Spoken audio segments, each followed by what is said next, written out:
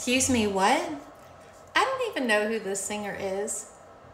But you mean to tell me you show up to sh- to sing the national anthem drunk?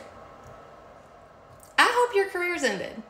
I hope that you never get another singing gig ever.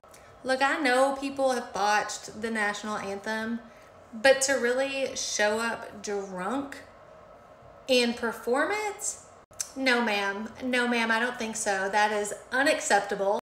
And okay, of course, now, as most famous people do when they fuck up, they are gonna check, she's gonna check herself into a treatment center to get help. Give me a fucking break. I am so sick of just forgiving these dumbass celebrities for their fuck ups when they enter themselves into rehab. Fucking no.